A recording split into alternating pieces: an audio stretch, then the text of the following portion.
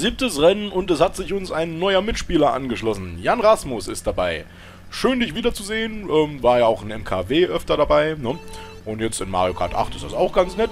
Und äh, damit wäre dann auf jeden Fall klar, dass offenbar doch mehr Leute an dem Turnier teilnehmen als nur ich, Lambda und Mio. Ähm, zumal Mio jetzt schon eine ganze Zeit lang nicht mehr da war. Also entweder hat er keinen Bock mehr ähm, oder er ist wirklich in einem Raum gelandet, wo noch mehr Leute fahren. Ich weiß nicht, wie ich diese Kurven mit Pause anfahren soll, dass ich auf dem Beschleuniger komme. Äh, also er ist schon ein bisschen schwerfällig von der Lenkung, muss man, muss man schon sagen. Ne? Ähm, aber ich habe mir jetzt angewöhnt, Fragezeichen, nicht mehr mit Leichtgewichten zu fahren. Ich hatte letztens ein Rennen, da bin ich einfach zu Sydney in den Raum gejoint und hatte gedacht, ich habe mal mit dem ein bisschen Spaß. Und auf einmal kommt dann alles reingeschneit, was es so gibt. Tricer kommt rein, Schnubbi kommt rein äh, und äh, ich glaube Pikachu war dabei und weiß der Geier wer noch alles. Ähm, also war der Raum dann ziemlich voll mit lauter Leuten, die man kennt. Und ich hatte den Eindruck, ich bin da mit einem Leichtgewicht gefahren, dass Tricer mich nur ansehen muss mit seinem Schwergewicht und dann fliege ich schon irgendwie ins Grünzeug. Tatsache ist allerdings, da habe ich mich verschätzt. Also er musste mich eigentlich gar nicht ansehen, damit ich ins Grünzeug fliege, sondern er musste nur irgendwie äh, in der Nähe sein. Das hat schon gereicht. Also es ist wirklich eine Katastrophe. Als Leichtgewicht wird man dem Spiel richtig fertig gemacht, habe ich den Eindruck. Man hat nicht die Geschwindigkeit, die fehlt absolut, das fällt auf. Und äh, ja, man kommt gut um die Kurven rum, gut wie du. Das bringt aber überhaupt nichts, wenn man von jedem Schwergewicht, das da ist, irgendwo in die Walachei gepumpt wird. Also, ja, also wie gesagt, Try musste nur irgendwo in der Nähe sein, dann habe ich schon irgendwo im Grünzeug gestanden. das fand ich nicht so witzig. Äh, andere Richtung driften, Baus. Ah, du bist ein Depp. Der in die falsche Richtung und versaut sich so noch das Rennen. Juhu, und Banane! ja, wenn ich schon nicht treffe. So ein Scheiß, ne? Das ganze Rennen gut gelaufen, dann mache ich am Schluss einen kleinen Fehler und vorbei ist es. Traurig, traurig.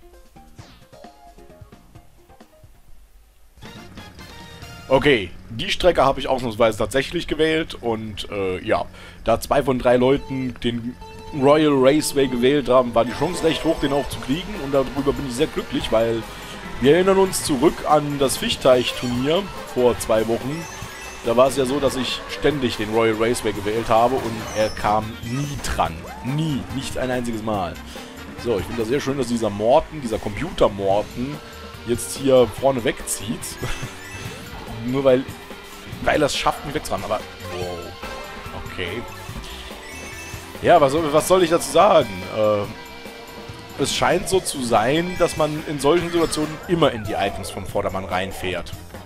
Warum auch immer. Oh, hätte ich gewusst, dass ich keine Münzen holt, hätte ich mir sie geholt. So, schön, dass Lambda jetzt keine roten mehr hat, aber dafür drei grüne. Wenn ich jetzt einen Goldpilz gekriegt hätte, dann wäre die Welt in Ordnung. So, und jetzt? Au.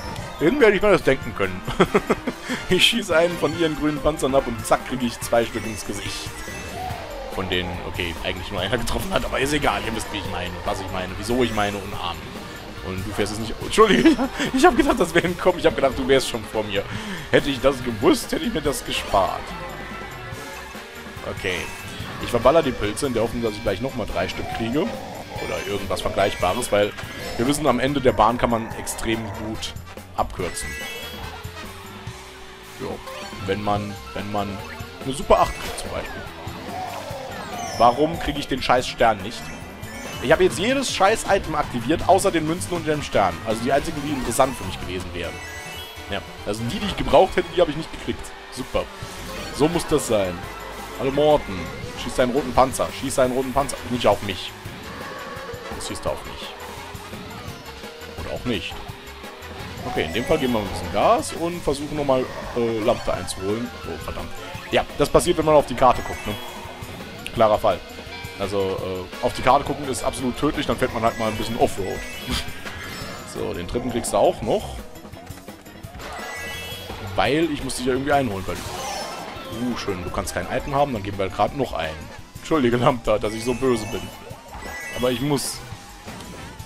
Ich habe doch keine Wahl. Jetzt habe ich es auch noch überfahren. Also, Wunderbar, aber sie wird noch Zweiter, dann ist ja okay. Entschuldige, dass ich dir das ganze Rennen gerade versaut habe.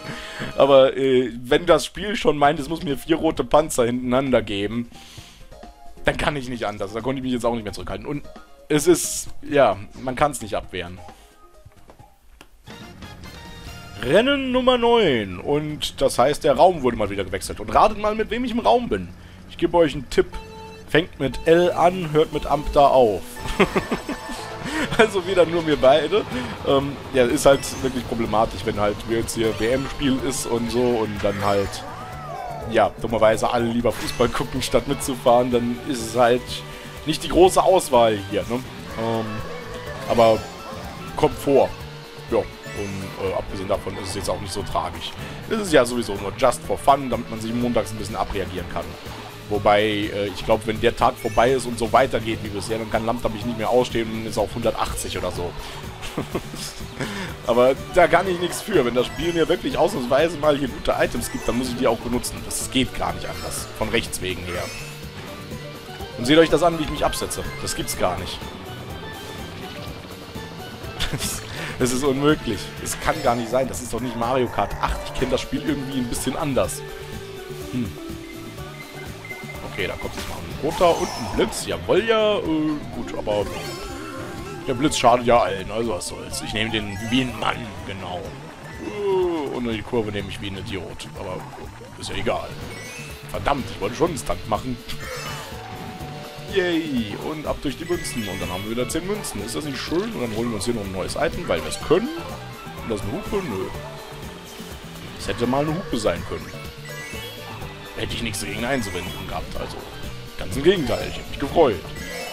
Und ich merke, wenn ich so auf den Bildschirm gucke unten, dass Lambda mit einem Affenzahn näher kommt. Wie auch immer sie das macht. Wahrscheinlich Pilze oder so. Ähm, kann ich aber auch nicht ändern. Oh, du blöder Cheap Cheap hast meinen Panzer kaputt gemacht. Mensch. Hm, Bowser, du hast noch einen Panzer auf dem Rücken. Kannst du den nicht werfen? Das ist, glaube ich, erst das zweite Mal, dass ich durch die alten Boxen gefahren bin und gerade noch rechtzeitig einen alten kriege, um was abzuwehren, das von hinten kommt. Wahnsinn. Kommt so oft nicht vor in dem Spiel ja, dass ihr es noch bis zu den alten Boxen schafft und euch was holen könnt. Nein!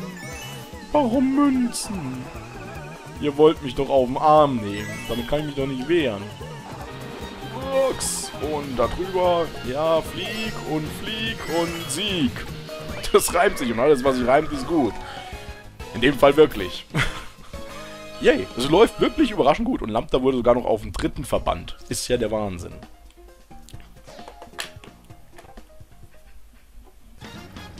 Auf, auf zur lustigen Röhrenraserei.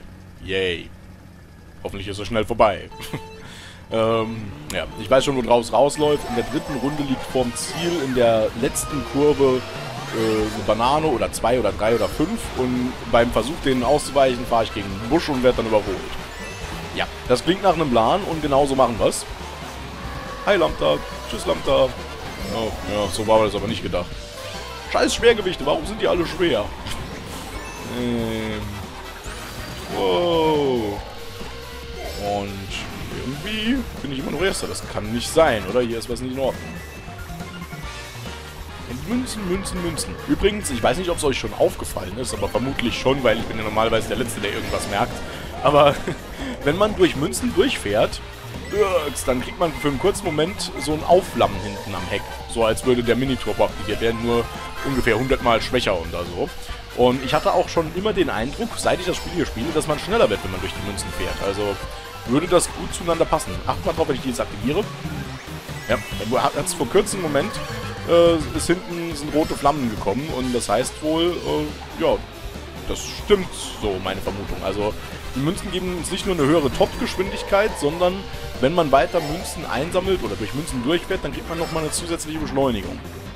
Allerdings gleicht die nicht aus, wenn man stattdessen lieber enge Kurven fährt, so wie ich jetzt hier. So, war wahrscheinlich ein Fehler, die Münzen abzulegen. Äh, Quatsch, die Münzen, die Banane. Ja, also hier in der Kurve wird nachher eine Banane liegen und ich fahre gegen die Büsche. Oder ich mache es einfach gleich, dann habe ich es hinter mir. Ich frage mich, wie lange das dauert, bis die Büsche wieder aufgestellt sind, weil in der nächsten Runde sind sie auf jeden Fall wieder da. Da gibt es bestimmt irgendein logisches System, das irgendwie das wieder aufstellt, aber ich verstehe nicht welches. Vielleicht werden die auch einfach nur aufgestellt, kurz bevor man selbst die Stelle wieder erreicht. Und für andere sind die Dinger trotzdem noch weg oder so, wenn sie nach mir dorthin kommen. Ich weiß nicht. Ähm, ja gut, die wird nicht reichen, um Lambda nochmal zu kriegen. Also legen wir sie mal nach hinten. Dann treffe ich mich wenigstens nicht selbst damit. Ihr glaubt gar nicht, wie oft das vorkommt in dem Spiel, dass ich irgendwas gegen die Wand oder gegen die Decke oder gegen irgendein anderes Hindernis werfe und dann selbst davon getroffen werde. Das Dauerzustand. Okay, damit kriegen die Lampe auch nicht mehr. Habe ich mir selbst kaputt gemacht, ne? Andererseits hätte mich an der Stelle eben ein Pilz überholt, und was soll's. Yay, stirb an meinem Bumerang. ja, da hätte mir nur noch irgendwie blau oder rot retten können, aber man muss ja nicht dauernd durch alten Glück gewinnen, ne? Obwohl es schön wäre.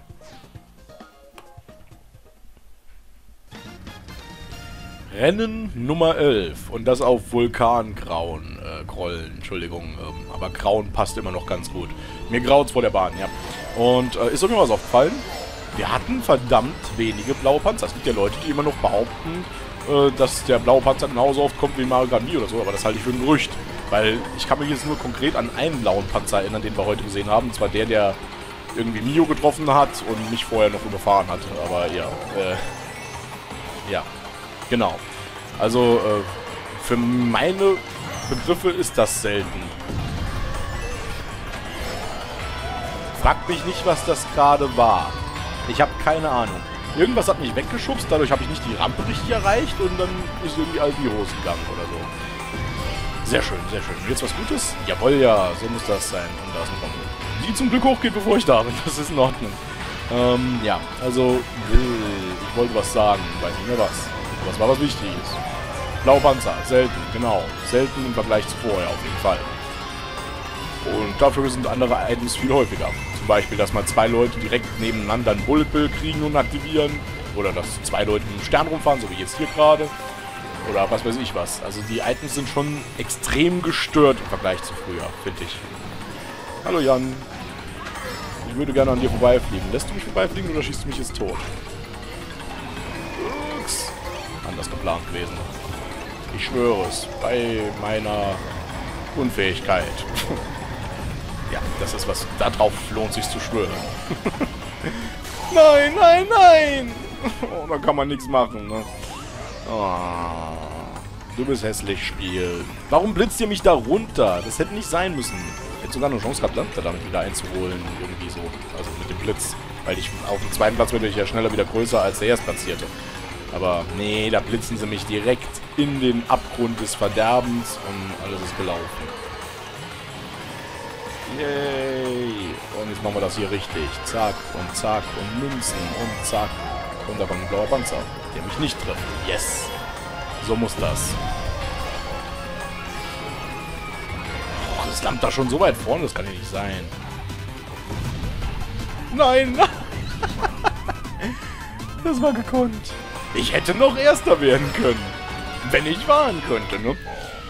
Ich hab doch gesagt, Vulkangrollen ist scheiße. Ähm, ich konnte es auf der Wii nicht leiden wegen der Glitscherei und ich kann es hier nicht leiden, weil ich nicht fahren kann, offensichtlich. Würde ich nicht so viele Fehler machen, wäre ich Erster, ne? Aber, ja, so ist das Leben. Schicksal.